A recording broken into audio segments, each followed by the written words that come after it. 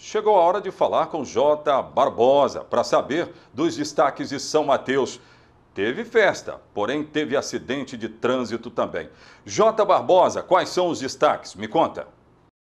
Olá, Oséias Farias, amigos de Linhares, trazendo as informações aqui de São Mateus e região. É isso mesmo, hein? Engavetamento, um grave acidente na BR-101 entre carro e moto. Homem também que morreu afogado em Nova Venécia e muito mais. Vamos com as informações das últimas horas aqui da nossa região.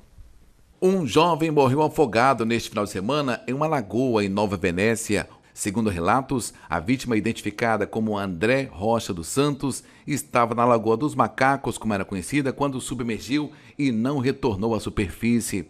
O homem foi encontrado dentro da lagoa sem vida. A perícia também esteve no local. Após realizados os procedimentos, o corpo foi encaminhado para o SML de Colatina. Um motociclista ficou ferido em um grave acidente em uma moto que ele pilotava. Bateu em um carro de passeio ontem à tarde na BR-101, quilômetro 90, em Jaguaré. Segundo a Polícia Rodoviária Federal, o piloto da moto foi socorrido em estado grave. O trânsito no local ficou lento. Não temos identificação do estado de saúde nem identificação do homem que pilotava a moto. Dois engavetamentos aconteceram na rodovia Otovarando Duarte Santos, no sentido São Mateus-Guriri. O primeiro aconteceu na sexta-feira. No sábado, novamente, vários veículos envolvidos no engavetamento. Ninguém saiu ferido. A Polícia Militar e a Guarda Municipal orientam que a atenção tem que ser redobrada.